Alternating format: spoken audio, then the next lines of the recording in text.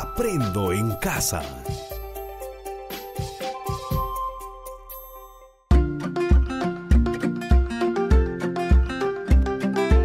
Queridos estudiantes, los invitamos a participar en el desarrollo de las sesiones de aprendizaje que hemos preparado para ustedes.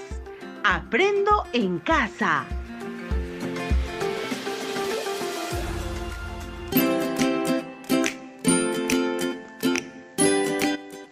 Buenos días, queridos estudiantes de quinto grado de secundaria. Les saluda la profesora Nancy Dueñas. Estoy segura que todos seguimos cumpliendo con las indicaciones para protegernos y proteger a nuestras familias. Sin embargo, es necesario redoblar las medidas de cuidado y prevención para disminuir y evitar la propagación del coronavirus. No te olvides que debemos tener en cuenta algunas indicaciones básicas para protegernos. Lavarte las manos con agua y jabón frecuentemente por 20 segundos como mínimo. Mantén el distanciamiento social, un metro de distancia entre persona a persona como mínimo. Usa la mascarilla de protección cada vez que salgas a la calle. No realices visitas o reuniones familiares. Evita estar en situaciones de tumulto o grupos numerosos. Cumplir con estas normas es la mejor forma de prevenir el contagio de cualquier virus. Este tiempo que pasamos en casa es valioso e importante para seguir aprendiendo. Estimados padres de familia, su labor es de suma importancia en el acompañamiento al desarrollo de las actividades de sus hijos. Los invitamos a participar junto a ellos porque necesitan de su apoyo para lograr los aprendizajes de esta sesión.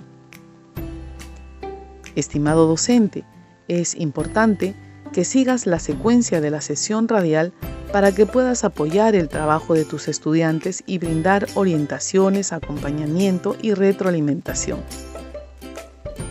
Recuerda que puedes aclarar conceptos y fortalecer el desarrollo de la competencia. Antes de iniciar con la sesión radial, te recomendamos lo siguiente. Prepara anticipadamente un espacio para que puedas trabajar. Invita a tu papá, mamá o hermano mayor o algún familiar de tu confianza para que te acompañe en esta experiencia de aprendizaje. Ten a la mano un cuaderno y todo lo que necesites para tomar apuntes. Coordina con tus padres o tutores para evitar todo tipo de interrupciones durante la emisión de la sesión radial.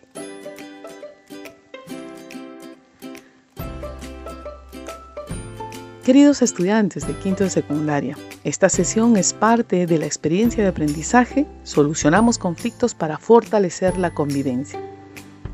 Esta experiencia de aprendizaje la compartimos con las áreas de comunicación, matemática, ciencia, tecnología y desarrollo personal, ciudadanía y cívica. La sesión de hoy corresponde al área de ciencias sociales y tiene como título Analizamos las problemáticas socioambientales relevantes de la región y del país. Te repito el título para que puedas tomar nota. Analizamos las problemáticas socioambientales relevantes de la región y del país. El propósito de nuestra sesión es analizamos las problemáticas socioambientales reconociendo el impacto en la calidad de vida de la población y cómo éstas pueden derivar en conflictos socioambientales. Repito el propósito. Analizamos las problemáticas socioambientales reconociendo el impacto en la calidad de vida de la población y cómo éstas pueden derivar en conflictos socioambientales.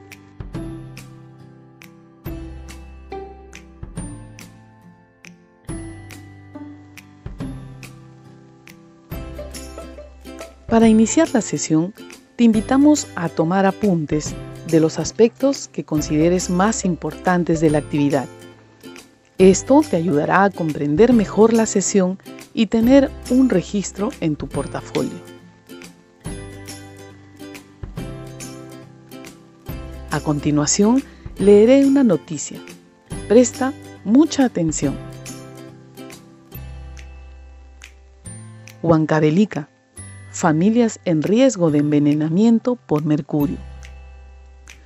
Una investigación desarrollada durante seis años por la prestigiosa organización estadounidense Consejo de la Salud Ambiental indica que la contaminación por mercurio en la ciudad de Huancavelica, capital de la provincia y región del mismo nombre, se encuentra en las paredes, pisos y el aire interior del 75% de las casas construidas a base de barro que fueron evaluadas. Según la proyección realizada por el presidente del Consejo de Salud Ambiental, Nicholas Robbins, más de 3.500 viviendas de esa localidad donde viven unas 21.000 personas, más de la mitad de la población del distrito, estarían contaminadas con ese metal pesado. Este se encuentra en gran parte de la ciudad y del río Ichu desde 1564, año en que los conquistadores españoles pusieron en funcionamiento la mina de mercurio Santa Bárbara y que fue cerrada hace un siglo.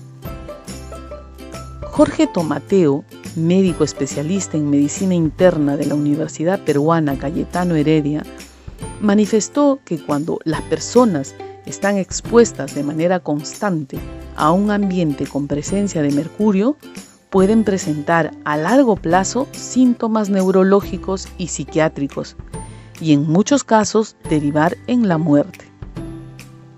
Diario El Comercio, Lima 26 de junio del 2015.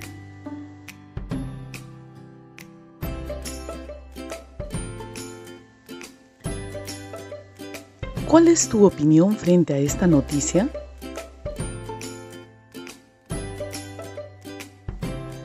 ¿Cuál es el problema de fondo en la noticia presentada?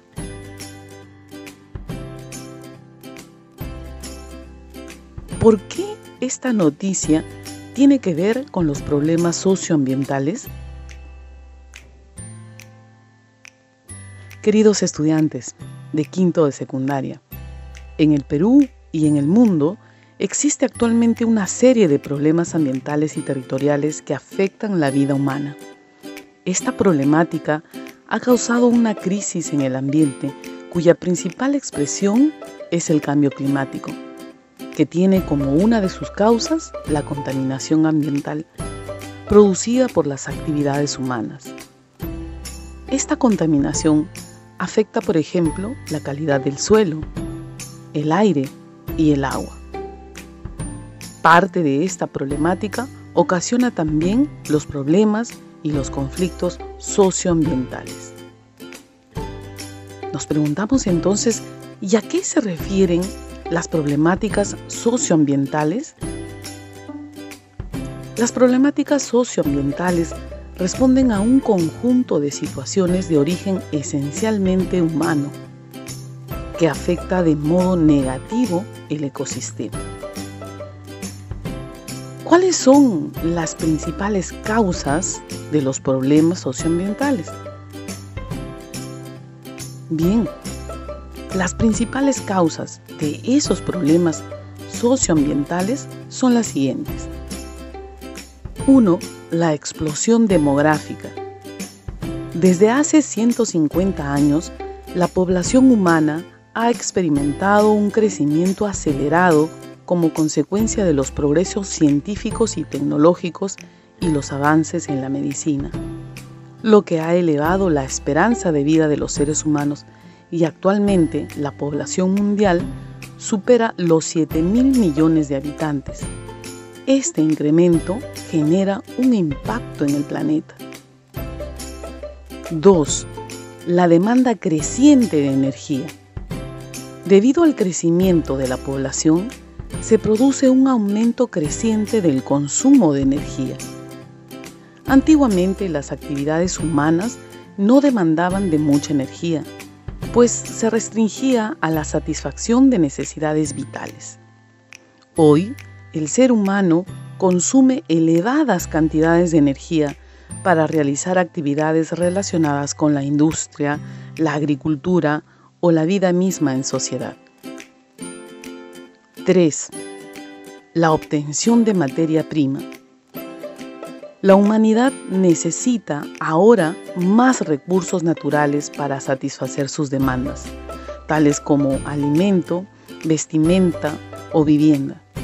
La demanda seguirá creciendo mientras que el espacio que provee los recursos sigue siendo el mismo y se deteriora cada vez más por la devastación de los ecosistemas naturales.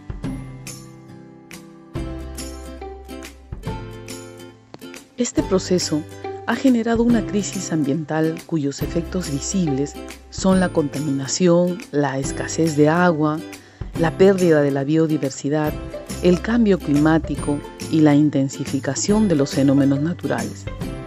Además, afecta la calidad de vida de las personas.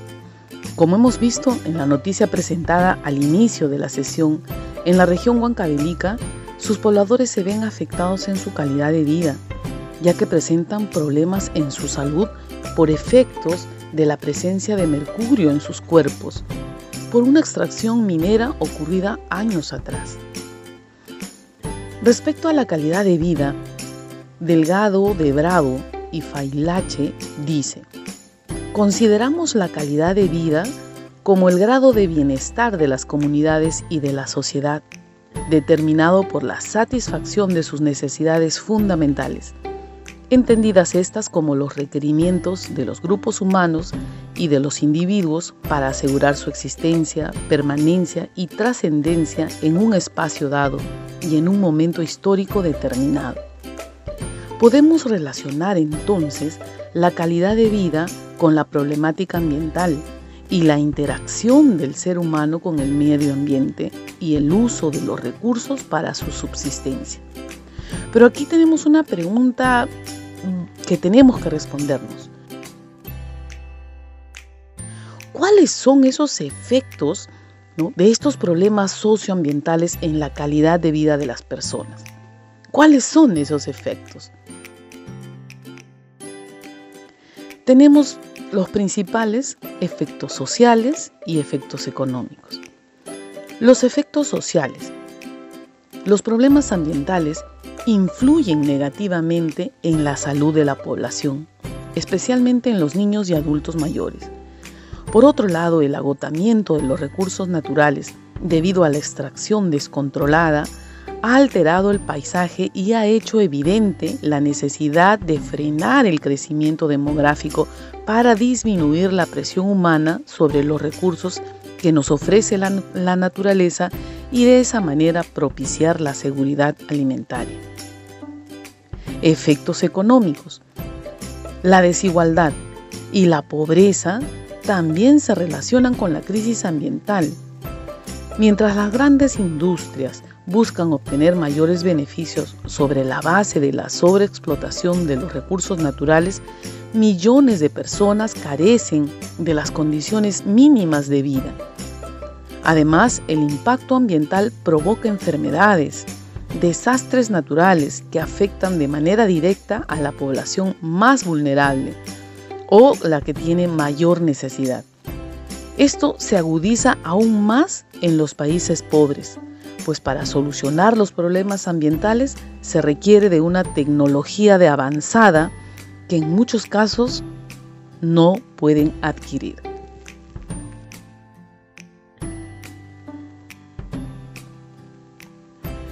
Bien, queridos estudiantes del quinto año de secundaria, como pueden ver, los efectos de estas problemáticas socioambientales terminan afectando la calidad de vida de las personas y en muchos casos producen conflictos. El año 2019, la Defensoría del Pueblo presentó el reporte de conflictos sociales número 190, correspondiente al mes de diciembre del 2019, el cual da cuenta, entre otros aspectos, de 184 conflictos sociales registrados en el Perú, 133 activos y 51 latentes. Respecto al mes anterior, se incorporan dos casos nuevos vinculados a actividades socioambientales. Uno de ellos se desarrolla en la provincia de Chincha, en Ica, donde la comunidad campesina de Chavín señala el incumplimiento de acuerdos y compromisos establecidos por parte de la compañía minera Milpo, vinculadas a materia de salud, educación, trabajo, medio ambiente y desarrollo comunal. El otro conflicto involucra a las comunidades campesinas del distrito de Payapata, ubicado en la provincia de Espinar, en Cusco, los cuales exigen la nulidad de la resolución que aprobó la modificación del estudio de impacto ambiental detallado del proyecto Antapacay, expansión Tintaya, presentada por la compañía minera Antapacay por haberse presuntamente vulnerado su derecho a la consulta previa. Estos son algunos ejemplos de conflictos generados por la problemática socioambiental y el desarrollo de actividades económicas en nuestro país. Hay que recordar que las diferencias de intereses, valores y cosmovisiones generan conflictos. Para enfrentar los conflictos y buscar una solución pacífica y consensuada de los mismos, se requiere que tanto los ciudadanos como las instituciones públicas y privadas estemos preparados para saber dar solución a esos conflictos pero a su vez exige que los ciudadanos seamos conscientes del impacto que nuestras acciones y formas de vida tienen en el ambiente. Es importante que la ciudadanía responda a los conflictos de manera informada, buscando siempre el bien común, preservando su calidad de vida y generando espacios y condiciones para lograr acuerdos y consensos que proyecten nuestro desarrollo de manera sostenible, sin afectar nuestro medio ambiente, pero proyectando y garantizando a la vez el desarrollo económico necesario para el presente y las futuras generaciones.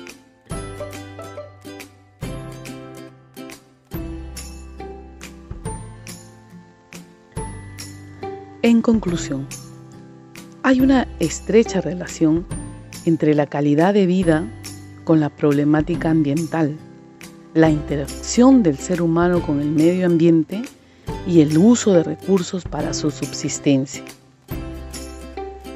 Los efectos de los conflictos socioambientales son sociales cuando los problemas ambientales influyen negativamente en la salud de la población. Los económicos son los que reflejan la desigualdad y la pobreza y también se relacionan con la crisis ambiental.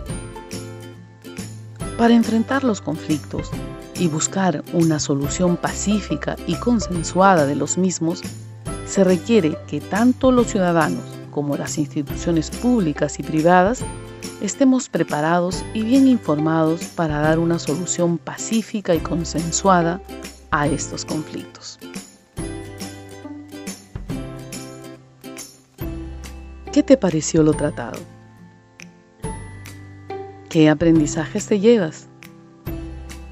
¿Cómo hemos aprendido? Muy bien, escribe una razón importante de lo tratado en esta sesión para que tengas un registro en tu portafolio. Hazlo y escribe por qué es importante para ti lo tratado el día de hoy ¿Cuáles son las ideas más resaltantes de lo presentado? Felicitaciones a todos los estudiantes de quinto grado de secundaria por su atención y ganas de aprender. Pero esta experiencia no debe quedar aquí.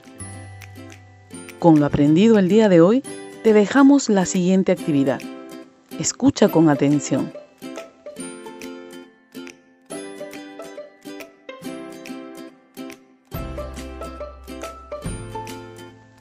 elabora un diagrama de causa y efecto de los problemas socioambientales. Volvamos a revisar cuál es la actividad del día de hoy. Elabora un diagrama de causa y efecto de los problemas socioambientales. Bien, para desarrollar la actividad Revisa tus apuntes de lo tratado el día de hoy. Conversa con tu familia para que te brinde información. Busca y revisa fuentes diversas de información sobre los problemas socioambientales en tu región. ¿Cuáles son las causas y efectos que están produciendo? Pon en práctica toda tu creatividad y recuerda que puedes recibir la orientación de tu profesor o profesora para concluir con éxito la actividad. Una vez concluida la actividad, envía tu trabajo a tu profesor o profesora por el medio acordado y guarda el trabajo en el portafolio o cuaderno que tengas designada para esta área.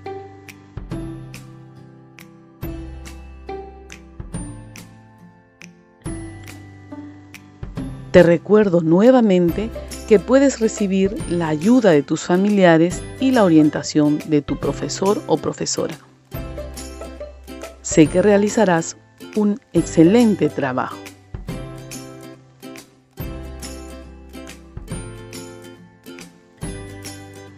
Estimado docente, recuerda que tú también eres un actor clave en este aprendizaje. Comunícate con tus estudiantes Usa el mejor canal para este fin según lo acordado con las familias, como canal de comunicación.